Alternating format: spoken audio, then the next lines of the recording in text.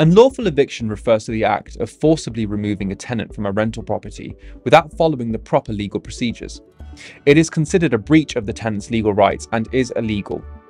Unlawful eviction can take various forms, including changing locks, locking a tenant out of the property, preventing them from accessing their home. Physical removal, physically removing the tenant or their belongings from the property without their consent. Harassment, engaging in actions that make the tenant's living conditions unbearable, forcing them to leave, such as cutting off utilities, threats, or intimidation. Deprivation of services, stopping essential services like water, electricity, or heating to make the property uninhabitable.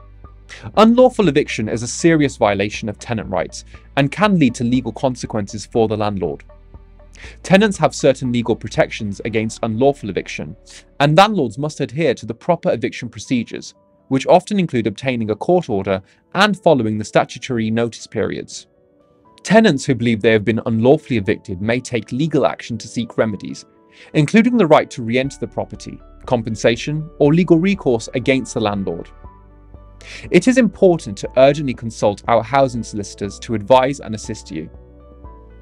Duncan Lewis Solicitors have specialist solicitors who represent clients in this area of law.